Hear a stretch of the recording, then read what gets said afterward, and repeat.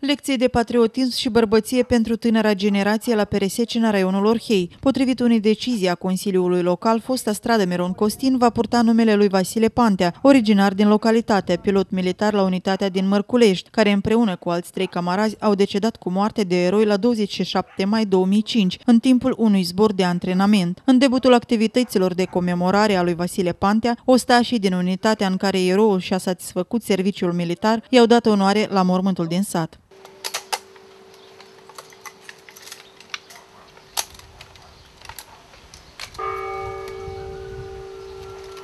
Lucrul care l-a făcut echipajul, într-adevăr, a dat posibilitate ca cineva să rămână în viață, acei care erau pe pământ. Iar, iar ei au rămas în inimile noastre, au rămas la Dumnezeu în ceruri, fiindcă de pe pământ s-au urcat în cer și au rămas ca adevărați ostași a Domnului. Aproape de ora prânzului, familia îndoleată, rudele, prietenii, reprezentanții autorităților publice locale, sătenii care l-au cunoscut, s-au îndreptat pe strada ce îi va purta numele spre casa părintească unde a copilărit. Aici s-a dezvelit și o placă comemorativă care a fost sfințită de către preotul din localitate. Au urmat cuvinte pline de recunoștință și durere. Când a decedat tatăl meu, aveam 13 ani. El a decedat, după cum știu toți, pe 27 mai 2005.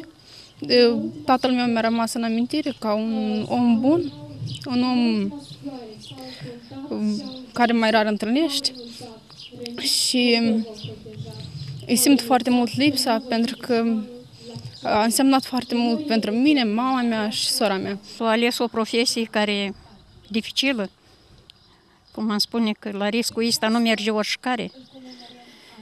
Cu izbândă, cu căldură în suflet și cu mult dorință și am spune imunitet de la bunei și de la părinții care și învățătorii care i-au pus uh, prima bază de conștiință.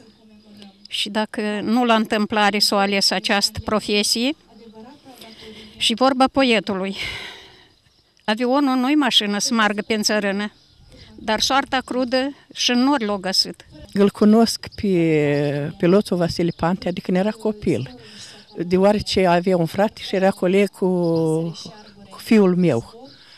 Și nu odată se întâlneau chiar și la noi, chiar și la dumnealor, în familie, se întâlneau și discutau și el, el se cunoștea că e un băiet uh, cu trup și cu suflet pentru viață, pentru popor, pentru uh, toate fapte. Se cunoștea de mic că el o să fie o, un băiet uh, educat în stil cu eroism. Decizia de a înveșnici numele Consăteanului a fost luată de consilierii locali. Îl cunosc pe, Vasile, pe repăsatul Vasile Pantea.